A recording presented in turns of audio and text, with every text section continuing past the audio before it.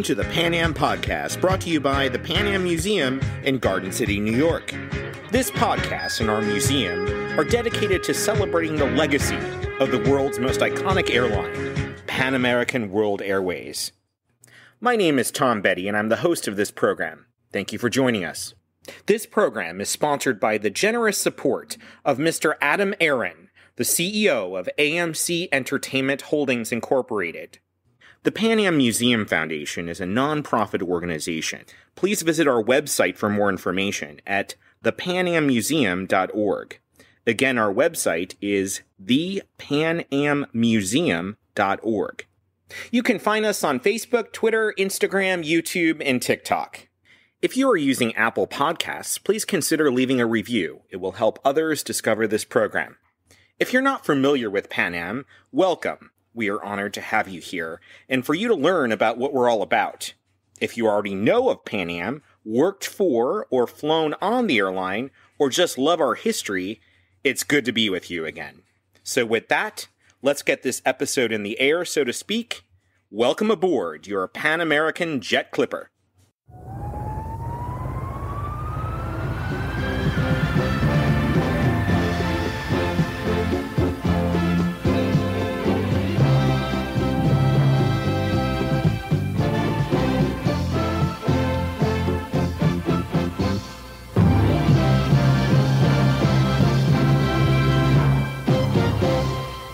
In this episode, we are joined by Barbara Morris Wood and Karen Wallin Usas.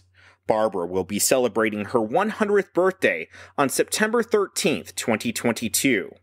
A very special early happy birthday greeting from all of us here at the Pan Am Museum. Barbara worked for Pan Am for five years between 1944 and 1949. Her time at Pan Am, while short, was nothing short of exceptional. Barbara pioneered a path for women to move up the ranks of the airline. After becoming the first woman to work the ticket counter, Barbara's can do spirit never waned. After recognizing other inequalities, she acted on them, bringing benefits to the airline industry many still enjoy today. If you've ever worked for an airline or enjoyed flight benefits, you have Barbara to thank. While at Pan Am, Barbara thought it was unfair that only company executives and flight crews had travel benefits with the airline. She wrote a convincing letter to management and advocated that all Pan Am employees, regardless of position, including ticket counter, catering, and maintenance employees, should have all the same rights and flying benefits as everyone else. The airline quickly agreed and expanded company travel benefits to all employees. This also set the employee flight benefit expectation in the aviation industry, and other airlines followed Pan Am's lead. During the end of World War II, Barbara was tasked with interviewing men returning from the war for jobs within the airline.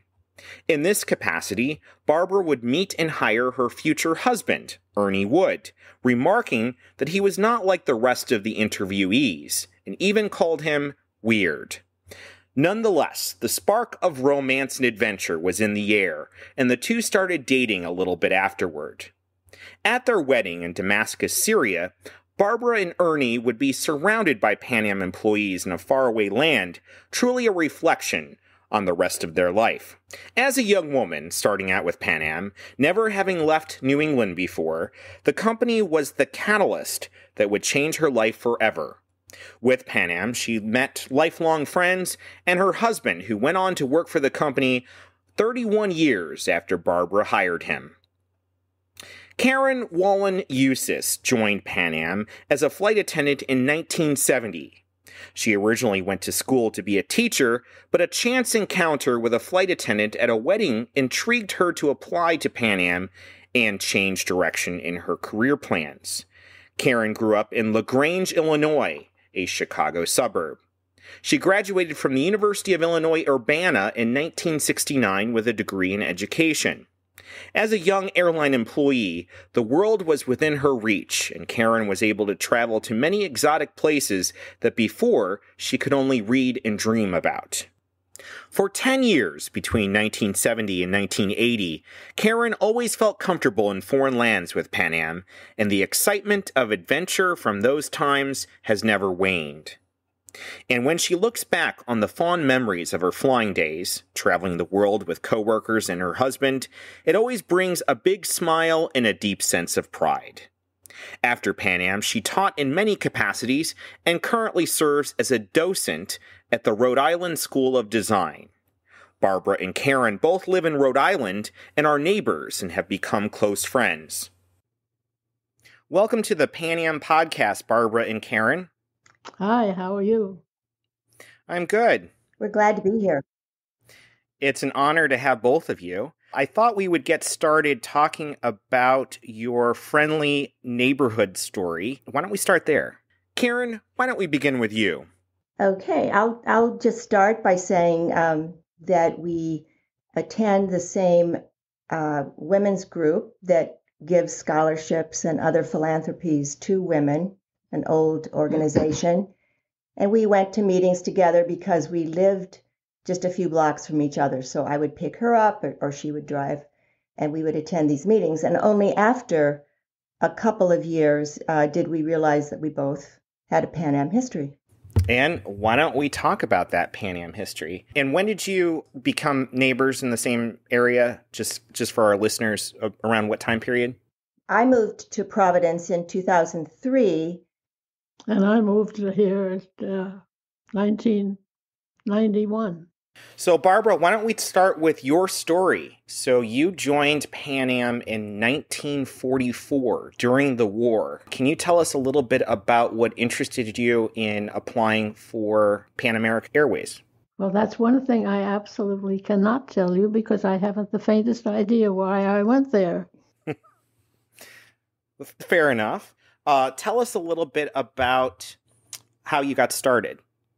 What what was your first position at Pan American? Research clerk in the industrial and, and uh, public relations department. And you put together the manual for flight attendants, correct? Well, that depends upon how you think about it.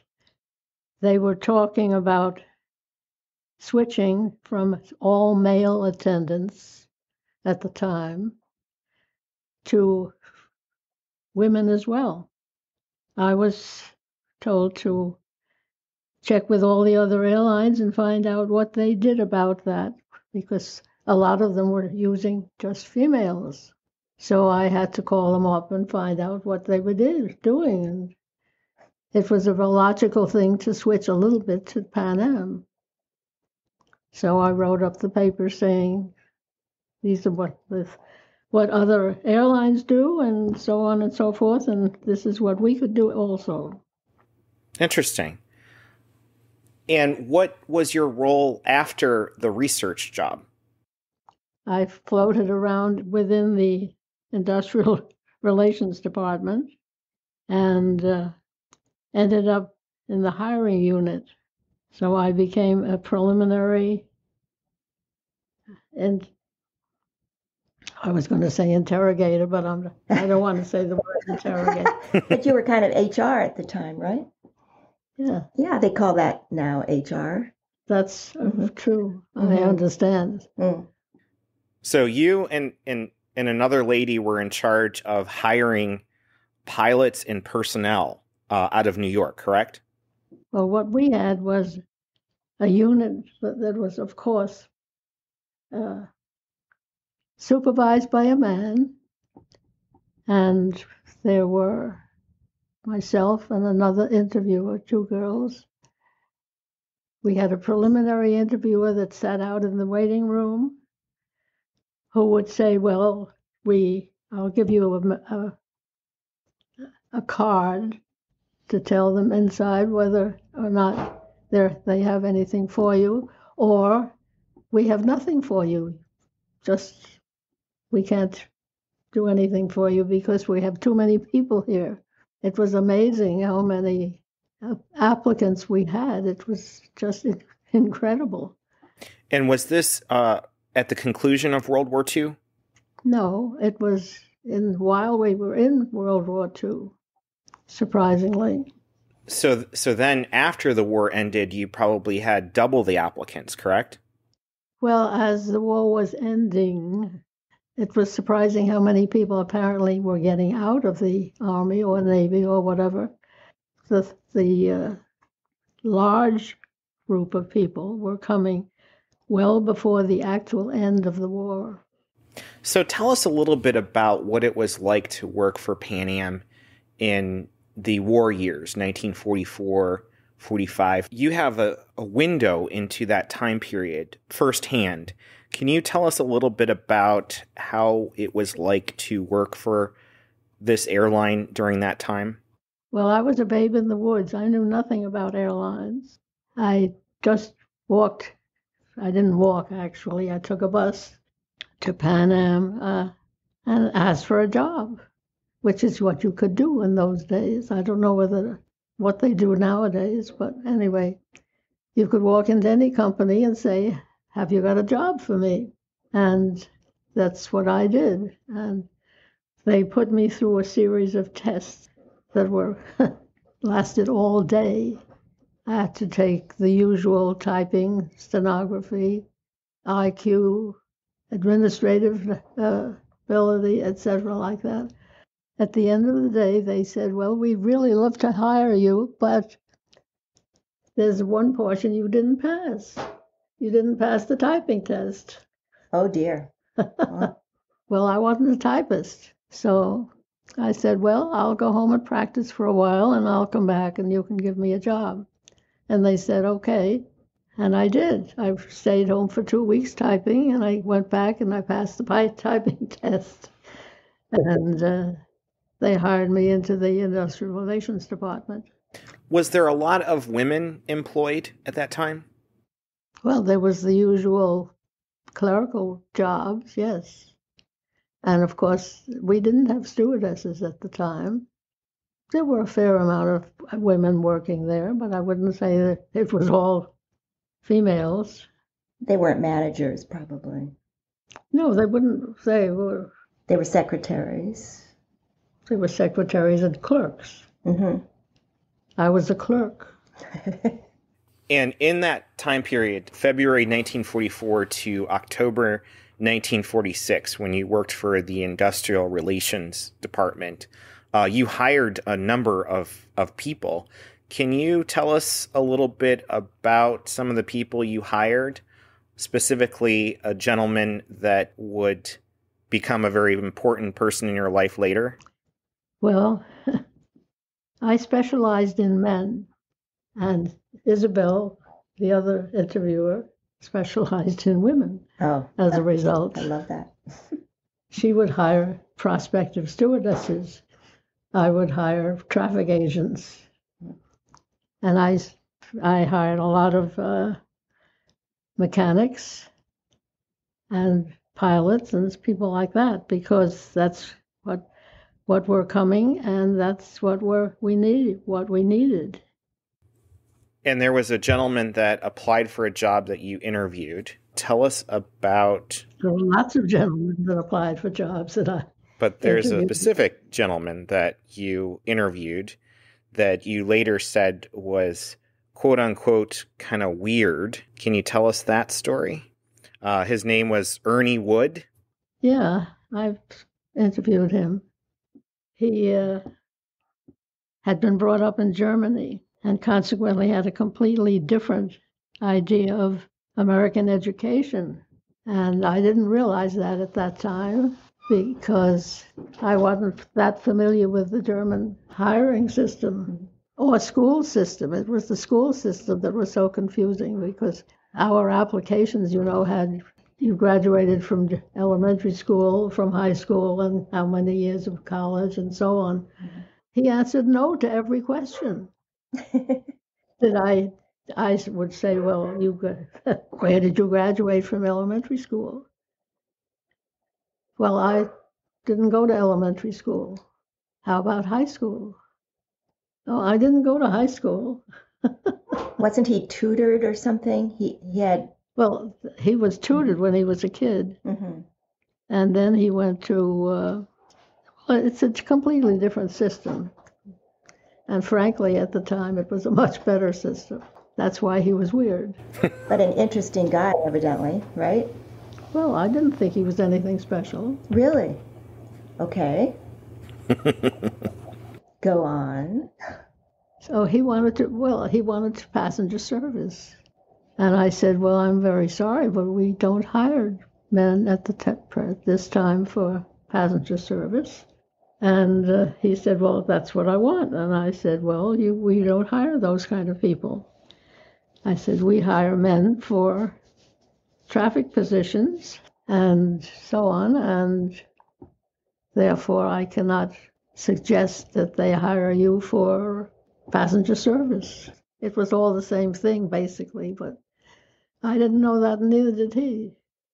Anyway, he went upstairs because he was other other than that he had a number of languages. He had the German, of course, which was fluent, and he had French and some Russian and fluent English. So that was the kind of person that you would want working for an international airline. So I sent him up and they hired him into reservations. and then he worked at the ticket counter at LaGuardia Airport. And then what happened with Ernie Wood? Did you start to see each other? No, the situation we had there at the counter, we had four or five units uh, based on timing. And he was in a he was in a Thursday unit. And when I went over when I joined that organization, I was in a Saturday unit. and I had to go to traffic school and learn what traffic was all about, which I did. And then I joined the unit, and I was the only girl because that's what they wanted to hire me for. And some of our listeners may not know what traffic is. It's the work at the counters, correct? Traffic is the handling of the incoming and the outgoing passengers. In the terminal? In the terminal. In the middle of the terminal, there was a round table, and there were young ladies in there dressed in light blue uniforms, whereas the ticket counter people were dressed in navy blue.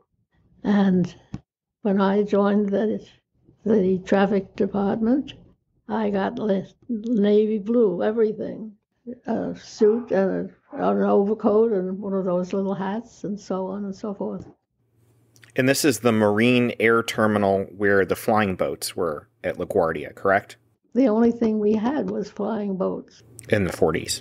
Oh, in the 40s, of course. Did you ever fly on one of the flying boats? Yes.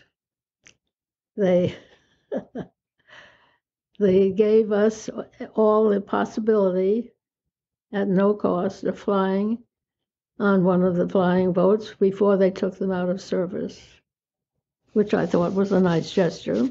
We all did that. We all took that opportunity. And I was a nervous wreck. I had never been in an airplane, and neither had any of the any of the counter agents. And when I got in this thing, which was sitting out there in the water, I got into a seat that was actually half underwater if you were to open the sides of the airplane. And then as it took off, it's, it started by going down. You know, the, the engines made the energy suddenly start and it, and it sort of dragged it down under the water a little bit. Oh my. Well, for a person who had never been on an airplane, it was horrible. Of course, it then just took off and flew, and we had a good time, sort of. I was a wreck, and so were most of the other girls, because none of us had been on an airplane. And where did you go? Shediac in Canada. He went to Shediac. That was a regular stop. Okay. All yeah. airplanes going to Europe stopped at Shediac. I had no idea. Well, they had to take on extra gas, I suppose, and whatever they were doing, but or maybe they, they gave them a, a checkup to see they were in shape to go over the water. But that's what happened. So uh, you went to Canada, and everyone got off the airplane and had dinner and, and then you came back? What what happened when you got to Canada? Well, we we went into the airport, of course, as you said, and had something to eat, and uh, we came back by train. The person that I was with, that was another, was in the same department with me, and we decided we didn't want to horse around up there, so we decided to just get on a, a train and not realizing that the place was full of soldiers. So we had to stand up most of the way because the place was mobbed. However, once we decided to go on the train, uh, we didn't have the choice anymore of going on the plane because we were no longer at an airport. So let's get back to the Marine Air Terminal at LaGuardia. Yes. Uh, you've been transferred to the traffic division, and they wanted to start having females as employees. They had asked me, I, I had been an interviewer in the personnel department, and the traffic manager had previously said, How about joining our department? You know, um, and I said, No, I like where I am, and I'm. And uh, I said again, he asked me several times, and I said, No.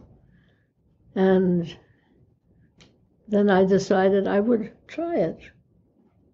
First of all, because I didn't like what was going on in that department that I was in at the time. It had changed somewhat, and the I didn't like the atmosphere. How so? What was different about the atmosphere? Well, they hired two men. Previously, it had been women who were doing the interviewing although the manager of the unit was a man. And I didn't like the men.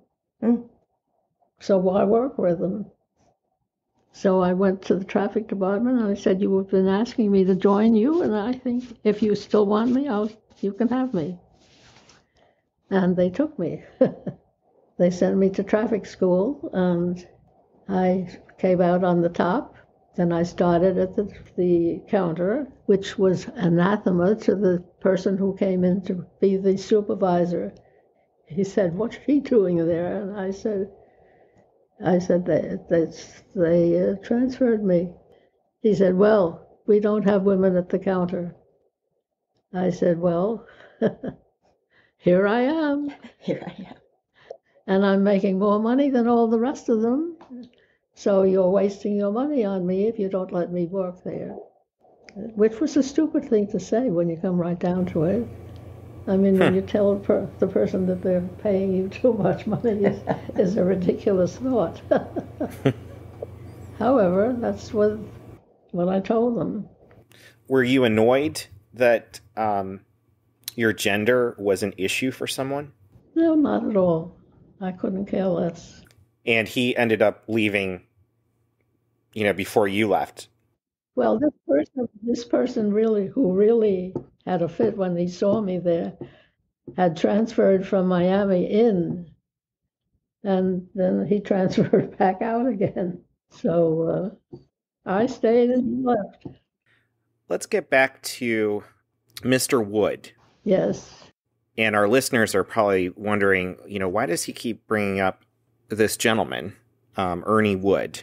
So you had hired him a couple years before. He worked at LaGuardia, but on different days than you did. No, that's not exactly the way it was. I was in a completely different department. I worked regular, ordinary days. He worked shifts, and it was all of the men at the counter, and they only had men, worked shifts. And in 1947, you went on a road trip to Washington, D.C. with a group of Pan Am folks, one of whom wanted to interview at the State Department. So 1947, and this gentleman, Ernie Wood, was among them. Can you tell us what happened next? Well, when I entered the, the traffic department, I was wondering how they would take it to see me there, you know, because first of all, they had had no women, and secondly, they knew that I had hired half of them. So I showed up for my first day at the counter with my uniform on, and they all welcomed me well. wonderful. They thought this was marvelous. And it was really very pleasant because I, there were a lot of people that I had known, so to speak, a person that I knew well. I mean, he, I hired him over my dead body because I didn't think he'd be very good at that. But I thought, well, all right, this man really had a lot of push. So maybe he's, he would be excellent. So we, I hired him. And uh, we became friends when I moved into the department. And he was going to apply for at the State Department for a job. He had a Greek background. In order to do that, he had to go to Washington. And of course, nobody had any money in those days. I had more money, more, I had a higher salary than probably any of those guys at the counter. And then none of them resented it either. It was they welcomed me with open arms. It was wonderful. so he was in the Thursday night group, or the Thursday group, I should say, because they were not a. They worked three to three uh, shifts each unit, and they were the Thursday group. And in the Thursday group was this guy, and and his wife was going to go with him, and I was the only one who had a car, so he invited me to go to Washington with him. so, how many were in the car? Five people. Five. You were driving five, including yourself, five people. I was not driving at all. I said to Brian, to Brian that I would be delighted to, to go down there with him and take him in my car, since I was the only one who had a car. But uh, I would not drive it because I didn't want to drive from New York to Washington at night because it would have been after they got off work. And uh, Ernie drove because he was in the Thursday night group. so on this trip, did you did you like Ernie or were you like this is the guy that was this weird guy that I hired a couple years before what was your opinion of Ernie at this time? Well, he was nice. I got to know him. You know, I didn't have to find out what schools he was in or anything. So I, uh, when I showed up there, he came over to me and said, My name's Ernie. What's yours? I don't know that he even remembered that I had hired him. And then what happened? Well, he was driving, and we stayed down there for the weekend. We stayed at the Willard Hotel, not knowing that it was such an expensive place. Brian did not get a job at the State Department. So on Sunday, we came home after we looked around down there. I had been there a number of times, but they had not. So it was all new to them. And when did you and Ernie started having feelings for each other? Well, I'll tell you, when I got home, uh, this is not a happy thought. Uh, my father died that night. He had been uh, sick for about two years. And uh, he had, uh, well, my father had ALS, and he died that night. And I called up the, the uh, Pan Am the next day and said, I'm sorry, I'm not going to come into this week because my father had just died, and I, you know, we'll have to take care of that. Ernie sent flowers coming from the Thursday night unit, unit to my mother, of course, which was very nice. And on Friday, this was Sunday when he died. On Friday, uh, he called me up and asked me to go out. So I said, sure, why not? I didn't say that to him. Do you remember where you went? Uh, there was a restaurant in town in Jackson Heights where the airport basically had a a post office box. So we went there and we both ordered steak, and I ate mine, and he didn't eat his. So I said, "You, would you mind if I ate ate your steak?" I I said, "I can't see steak going to waste like that. That's ridiculous." so that was the first time I went with, went out with him. And then you started dating. Then we started de- dating. Yes, we dated uh, all summer. I was going to say that my daughter Jennifer, of course, recently said, "I can't imagine anybody going over to uh, uh, Damascus, Syria, to get married, and a, a person you hardly even knew." And I said, "Well, I knew him. A, I knew a few months, well. six months, a few months." I said, we dated for three months. Three months. Then he was sent to Karachi. So you must have written letters, did you? I, I, I wrote telegrams, actually. Oh, you wrote telegrams. Okay. I would stand there in the terminal with my quarters in my hand and send telegrams if I felt like saying anything to him.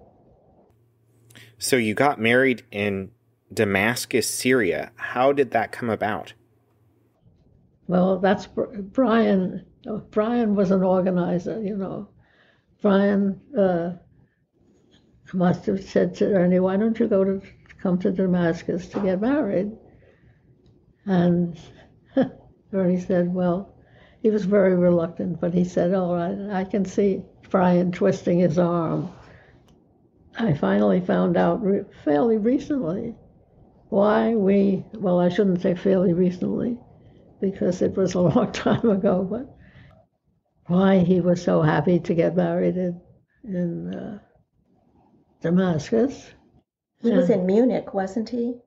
Wasn't Ernie? In... He was. He was. He had been taken out of Karachi, and he was floating around in London for a while, and then he went to Munich. They were waiting for Munich to open, so he and Dean Rogers who was the station manager, and he was the sales manager. They opened Munich together.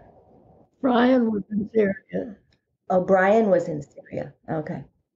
Brian was in. Brian was a, a doer. He was floating people around all the time. But he was the station manager in Damascus then. No, he would have been the traffic or the sales manager. The sales manager in Damascus.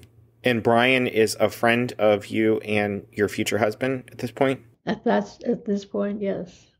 He's the one that you hired along before, right? You I, hired I hired Brian. Right. Oh, he was also the one that organized the trip to Washington. Correct. Right. Brian was a people organizer. Mm-hmm. We're going to take a quick break with a Pan Am commercial from 1982. I was nine years old when I took my first flight with Pan Am. My father took me with him to Manila. I'll never forget the thrill of the China Clipper lifting off the water, chasing the sun across the Pacific. They brought fresh food on board in Honolulu, and I had fresh pineapple and French pastries. When the steward turned the light off above my head, I was too excited to go to sleep.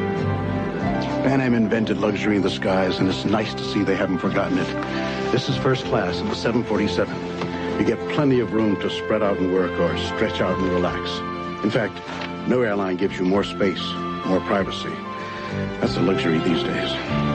Dad, look at the stars. Come on, George. Go to sleep. I can't. I'm too excited. You can't beat the experience. Welcome back to our interview with Barbara Morris Wood and Karen Wallin Usas. So, Barbara, can you tell us a little bit about your wedding in Syria? Well, it was completely managed by men, so it was different from what it would have been like in the United States. the, the most horrible thing about the whole business is that the entire shift that was working got to know that I was going to get married to this guy before I did because he sent me a telegram inside the air the company saying, We can get hitched. Ernie said, sent you that. Ernie sent me a thing uh-huh. saying, We can get hitched. Brian will arrange it. and when I came in, they all looked at me and sort of smiled and laughed. And then I finally saw my telegram. So I said, Sure, why not? Sure, why not? And while you were in Syria getting married, what what happened? We got married before the uh, before they took over. But they did. It was a peaceful thing. It was not the. It was not the uh, one that happened a couple of weeks afterwards. It was a coup. There was some a coup. Well, it's hard to describe because we were all the Pan people were out eating together in restaurants. The table next to ours was a group of people who were soldiers, and they kept coming over to me and cutting off a piece of a banana with their knives and handing, handing it to me, expecting me to take it into my mouth from their mouth, knife. It was very peculiar and funny. I mean, we were all laughing, and I would tell them to put it in the in the bowl that was on the table, and this bowl was getting fuller and fuller and fuller, because every time another guy came in, they gave me a slice of banana. Not we didn't realize it, but these were the guys were doing. They were doing their planning. The day after the all all my banana arrived was the day they had their first peaceful. It was very peaceful. They didn't have any nastiness about it. But the next morning, Ernie said, "Well, we are certainly not going anywhere today." And I said, "Why not?" And he said, "Well, there's a tank across the street over there, pointing at the hotel." So I said, "There is? Oh, I have to go out." we we need our passports. And he said, Well, I'm not certainly, I'm not going out in front of a tank that is parked in front of a hotel, pointing at the hotel. And I said, Well, okay, you can stay here. I'm leaving. So I went, wasn't too far. It was maybe eight blocks, ten blocks to the British Embassy. And I walked right out of the hotel and I knew perfectly well they weren't going to do anything to me because I had blonde hair, and they, the Syrians love blonde hair, so they wouldn't. I knew they wouldn't hurt me, and I walked to the British embassy and said I want my passport, and they they had done they had finished with our passports, in other words and they would be okay for Karachi. So you picked up the passports? I picked up my passport, and then I said, well, I might as well get his passport too. so I did, and, and then I walked back. Nobody was on the street until I met uh, the Pan American station manager walking out also. And the two of us went back to the hotel. And then we were we stayed there that day and we went out. There was a big mob scene, people trying to get passes to get out of the city. Because the government had changed. Not yet. There was. Oh, this was a square, one of these big squares, and they were looking out of a window, which they had open, and this mob scene was around. Mm-hmm. I said, "You mean it?" to Ernie once, and they moved and let us go through. Mm. And uh, I said, gee, that must mean something. So I'll keep on saying it. so I kept saying, you mean it? and we were ushered up to the window to get our document to get out of town for the day. And when did you have to quit your job at Pan American because you were married?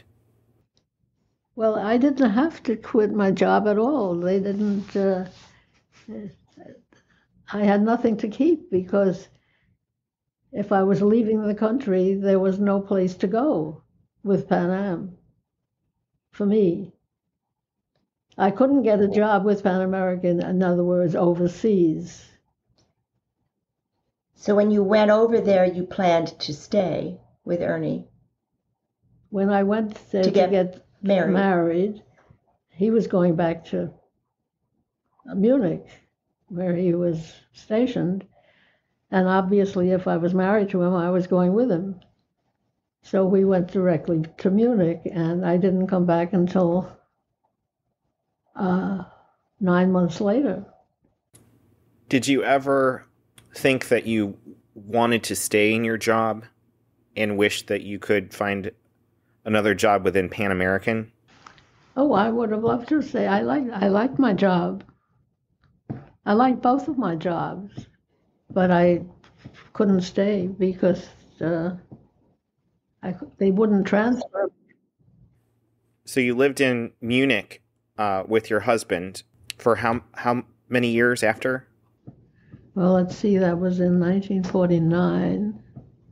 We came home in 1953 from Hamburg because we had been transferred to Hamburg, which I w- wouldn't recommend for anybody. It's a nice city, but it rains every day. We had three days without rain in one year. Can you imagine?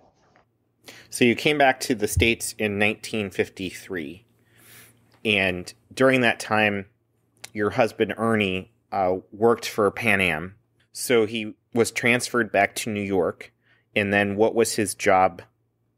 What was his new job in New York? And why did you why did you and him wanted to want to return to New York? Well, neither of us would like to stay in Hamburg, aside from anything else, but that's beside the point. Uh, I made I made a point of not saying I wanted to go home, and I had two two little boys, and I still didn't want to say anything about it. But Ernie decided himself, without even talking to me, uh, that he wanted to go home because he said he did not want his sons to uh, have the difficult time getting back getting back into the states when they grew up. He worked for Pan Am uh, for 36 years. Wasn't it with uh, he was in the cargo in the cargo business, but his his major job in the last 10 years was airmail, working with the post office. He loved work. He loved the post office. And then and then he he retired in 1981 from Pan Am.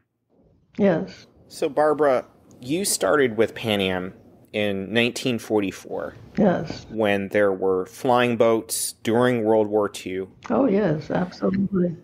and your husband worked for Pan Am up until the 1980s. So you really saw this airline evolve.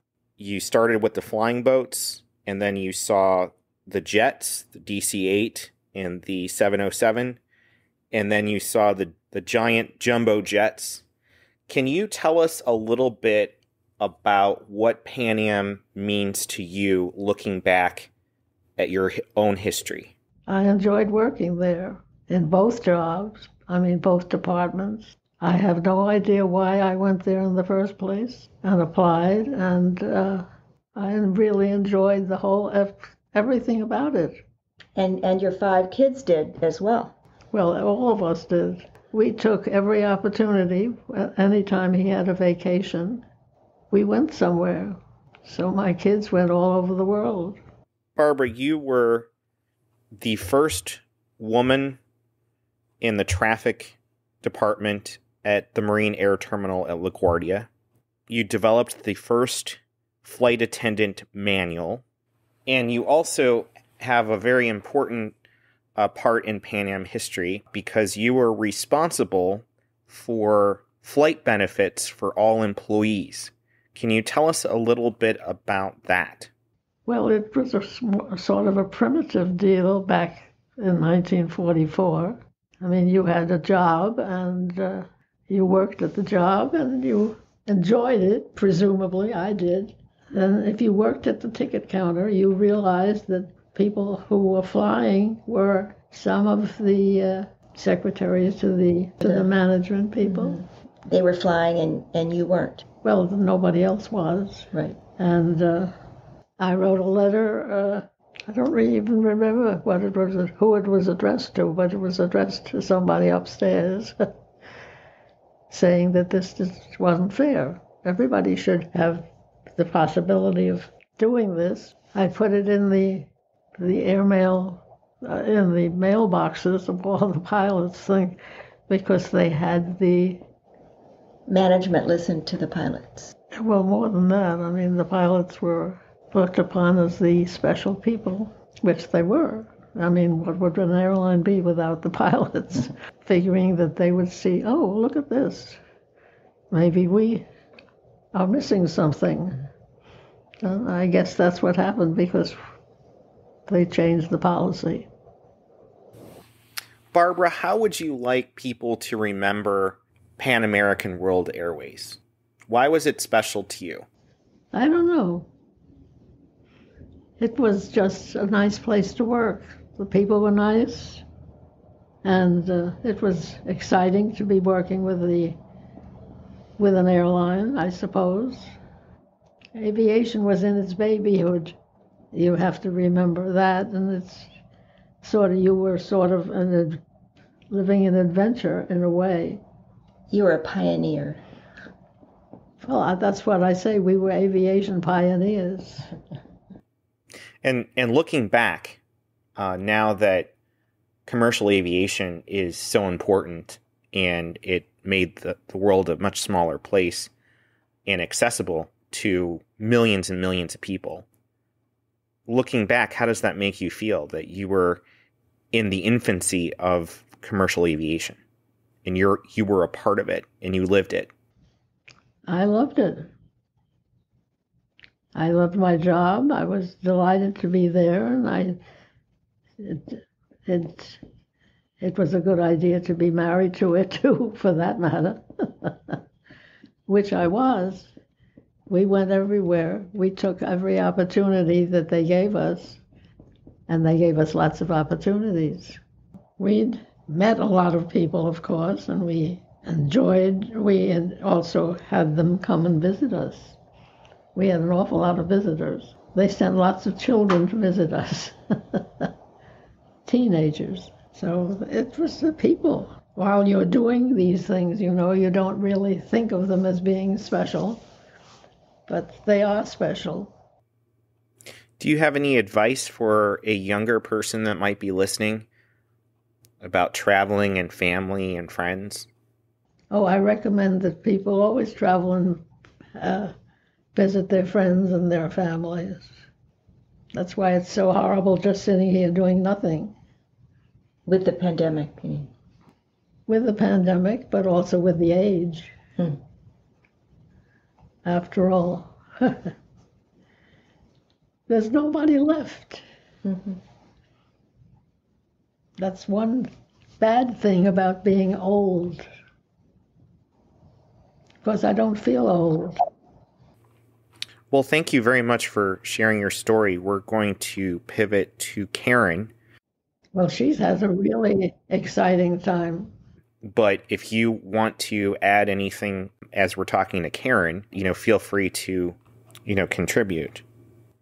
Karen, when did you join Pan Am? I joined in 1970, February of 1970. And tell us about how you decided to become a flight attendant. I had uh, never considered such a job or anything remotely like that, but at a wedding, I was uh, in conversation with one of the bridesmaids who was currently a flight attendant for Pan Am. And I had just uh, graduated, I was headed for a teaching job, and it just sounded so much more interesting than than uh, than that. I don't mean to disparage that uh, occupation. I've been in education off and on through, through these years, but I thought, well, that's something to kind of think about. And almost on a lark, um, I saw there were they were interviewing in Chicago. This was in '69, and they were getting ready for the hiring uh, of a large number of people because the jumbos had just arrived or were arriving, the 747s. So on a lark, I went downtown Chicago and had my interview and was hired. Tell us a little bit about your flying career. Well, a little of everything. I mean, it was great being uh, based in different places because there was certainly a different vibe in each place. But just from what Barbara said about the people, you know, the bottom line was yes, the travel, the benefits, the exotic places, and the interesting folks, um, famous and not so famous. That that paled to what uh, we all learned in the job. That the people we worked with were really intelligent, uh, diverse fabulous people with their own stories. And it made it made a little midwestern girl kind of wake up and think there's lots of ways to to do things. So it's really very mind opening what was some of your favorite aircrafts that you flew on i love the 707 it was intimate it was great we went you know it was it was the workhorse of the early 70s in spite of the jumbos coming out.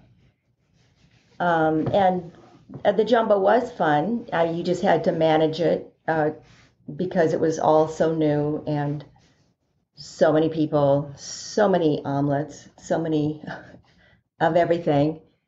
But it, uh, as in Pan Am fashion, they managed it well. The commissary was great. The food was exquisite.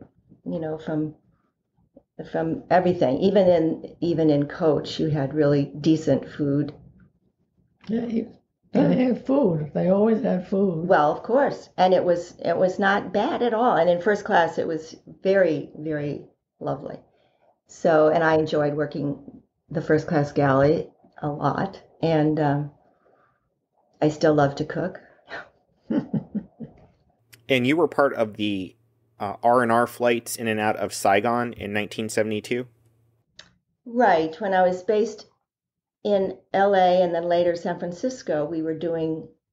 Um, I didn't do a great many. I think I, I did several of the R&R flights, taking the soldiers out of Saigon into the ports, into Bangkok or Taiwan or uh, Hong Kong. Um, and, and Manila. And those were wonderful outbound and very, very sad, bringing bringing the soldiers back to their posts in uh, in Vietnam.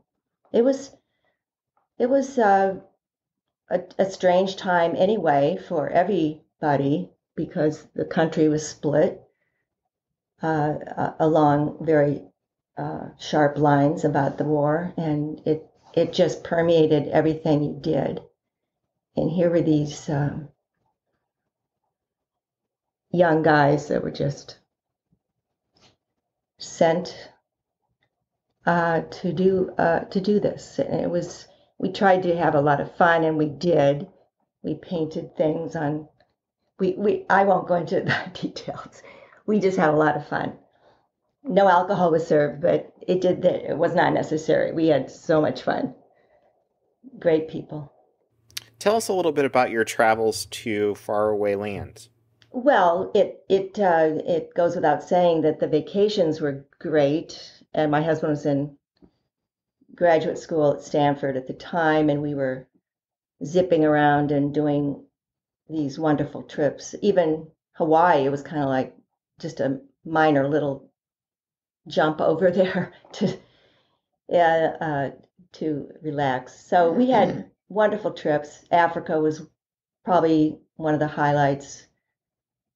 We today, if you go on a safari, uh, even the the cost of, and not even getting there, just the cost while you are in uh, in Africa. at this point it was East Africa. Uh, it it was very, they gave breaks to airline people. We had uh, wonderful accommodations, made friends. it just it, that was a, a, very exciting one. All the all the trips were, were good in different ways. You know, obviously Tahiti and the you know hopping over to Moorea there was was fun in the thatched roofs, and we thought we were living a movie. We weren't. We were just enjoying ourselves. We were in our twenties. What do we know? And, and and just London and the and the museums. I I'm a museum junkie anyway, so everywhere uh, we would go, we would find that. Didn't do a whole lot of shopping, but the bazaars and the uh, and the experiences there were really wonderful. Barbara, do you have any favorite places you've traveled to? Probably all of them. All of them, yeah, yeah. Each place had its own attractive part of it, right? My youngest daughter, for example, uh, can say that she learned how to st- swim in Tahiti. Mm. Not everybody can. Not everybody can say that.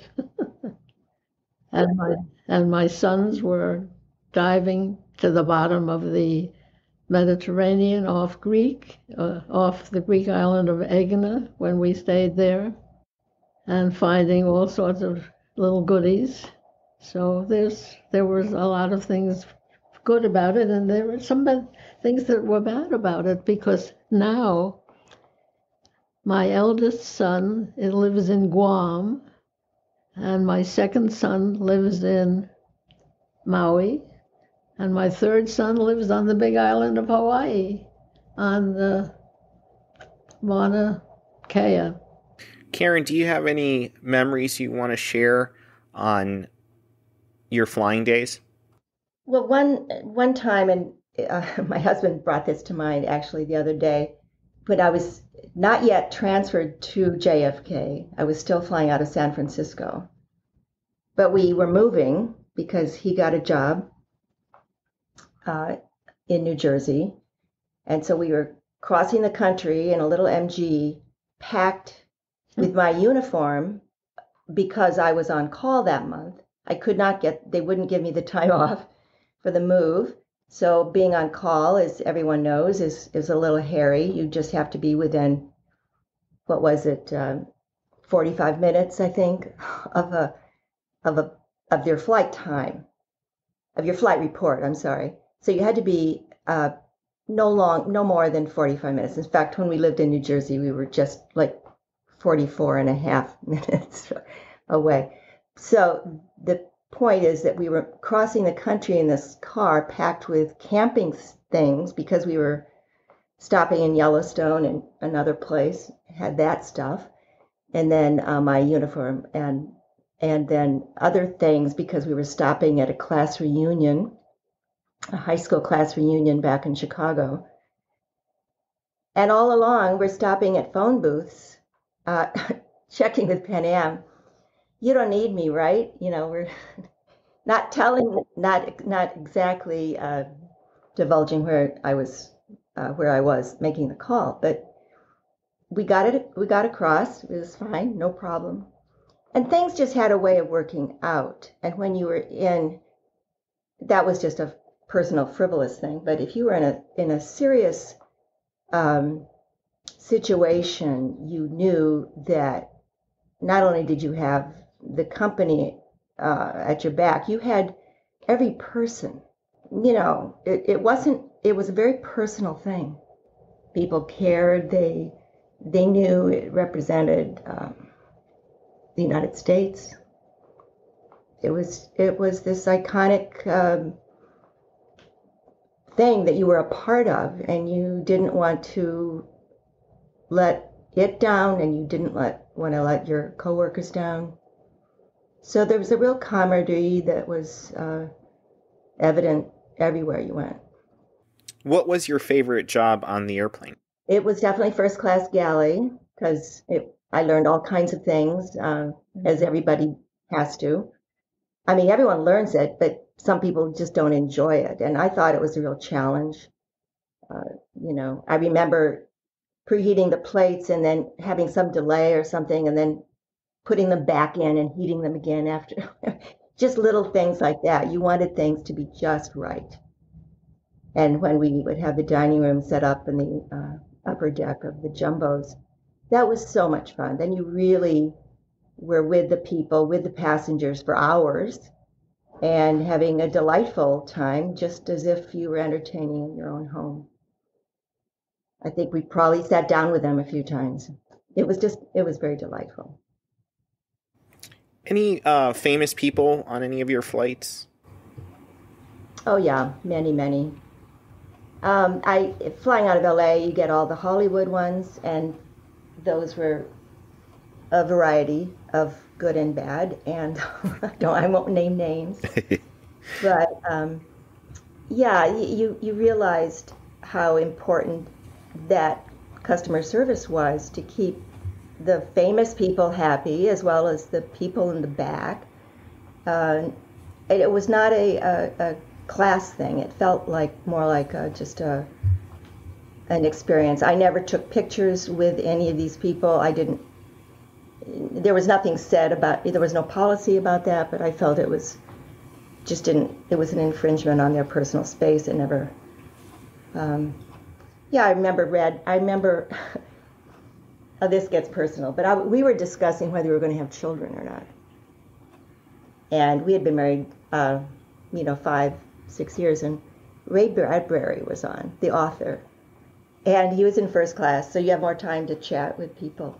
And I, I remember this this deep conversation I had with him, and I asked him his opinion. Imagine, I mean, what was I thinking uh, of would would you bring kids into the world at this time? I mean, it was a scary time. It's not unlike the way some young people are feeling today. And uh, he said, "Oh, absolutely." I remember it was very positive, and he was uh, a delight. Um, yeah, Robert Redford. I mean, I, I hit it off really well with trivia contests when I could say I served Robert Redford, you know, a four-hour dinner, and he was one of the ones in the upstairs uh, uh 747 dining room. So we, yeah, there were a lot of people. We had dignitaries out of the East Coast more. We had we had virtually we had crossing Africa. I remember one uh, on the flight that hops across all of those stops. We were forever getting uh, waiting for a dignitary to arrive because uh, there is just my my good friend who is African says there's Africa time and there's American time. And the the the chief would sh- would show up, or somebody in his cabinet, with a with a regalia and with all of the people around, and we were just as gracious to him, keeping us waiting for an hour as if he were on time. And it was just it was just you just rolled with it, and uh, uh, yeah, yeah, you you met you met people who you wrote who you wrote your impressions about, but then you wrote them maybe years later thinking, why didn't I ask that person that question? so yeah, it was a real treat. Let's go back to 1979. Pan Am is pulling out of Tehran, and you're on one of the last flights. Yeah, the round the world flight would always stop in Tehran, but we and we always had a layover there, which was a wonderful place to have a layover. Uh, and they had stopped the layovers. They would be in Beirut, and was it the one after was Rome? I think it went Rome, Tehran, Beirut. So they skipped the layover there. So it was a longer day, but we but nobody was. Uh, the airline always being safe did not want any any uh, crews staying there when things were getting very very dangerous and we were one of the last flights out before they took the hostages. We found out later, was about, I think, four days later.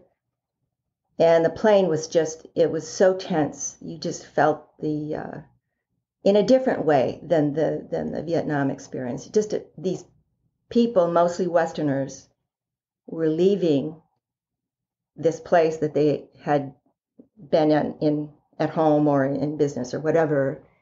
And they were very, very nervous. And when the wheels came up, there was a big applause uh, throughout the plane. Lasted for many minutes. In your opinion, what makes Pan Am special to you? Well, again, like I like Barbara said, I think it's the people. And yes, it's iconic, and it was a, you know, in every kind of way, uh, the development of the industry, etc. But the people were what made the company. So I think it's, I think it's that. I have good friends from that, and and and really wonderful memories. Barbara, can you tell us a little bit about your husband? What kind of person he was? Just give us an introduction of what he was like. Uh, He was a gentleman.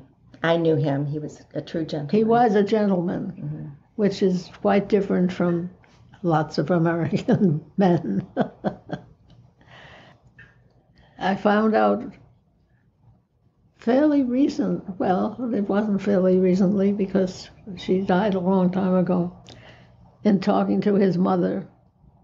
The reason we got married in Damascus, which I had not known, I knew that we could do that, of course, but the reason that he wanted to get married out of town, so to speak, is that he didn't want his mother meddling and he didn't want her meeting me.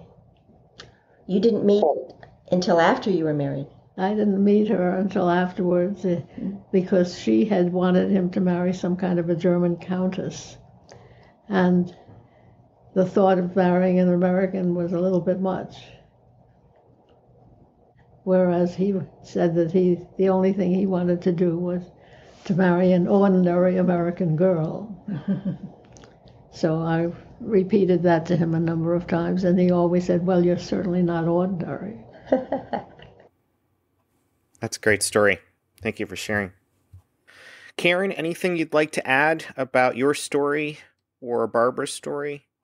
Oh, well, we could talk all day, but I think I just want to commend you for uh, sort of presenting all of these many stories in these podcasts. And I hope they are um, telling of, of the variety and the, uh, the impact that the, this company had on the his, on American history and, and, and the industry itself. So I, it's it's it's um it's a great thing you're doing. It's a wonderful opportunity,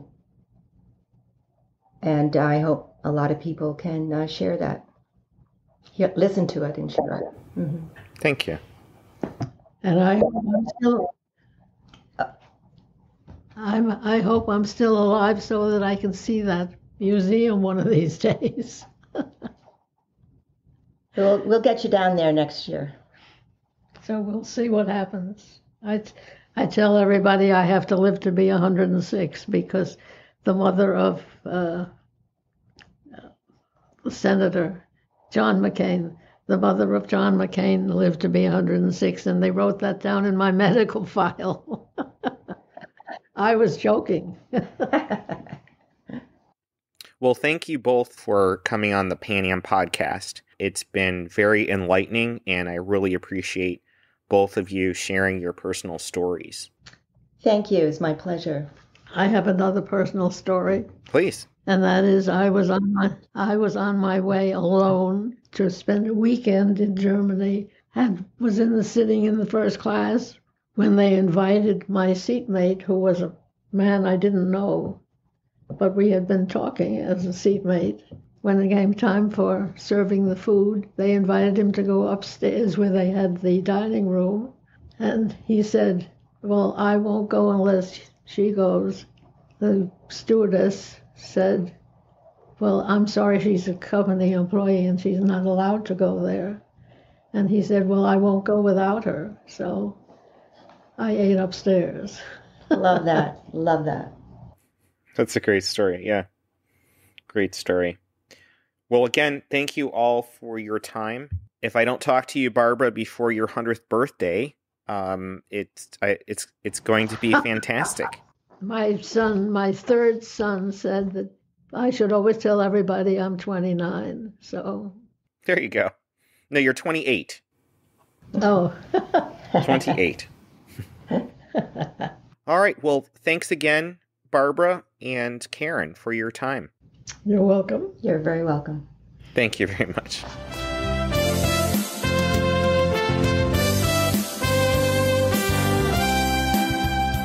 Pan Am was a pioneer in air travel and still stands as one of the most iconic and innovative airlines in aviation history.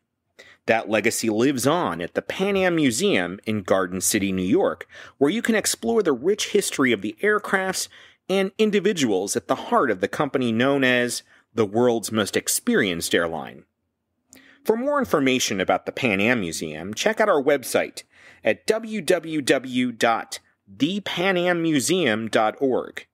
You can also find us on Facebook, Twitter, Instagram, YouTube, and TikTok. As was once a tagline in one of our commercials, we would greatly appreciate your support to help the Pan Am Museum continue making the going great. You can also support the museum by shopping on our online store for all things Pan Am accessories, apparel, jewelry, books, models, and posters. We want to hear from you. If you have a question for us or want to share your story, our email address is podcast at thepanammuseum.org. As flight crews once said to passengers departing for their destinations around the world, thank you for flying, Pan Am.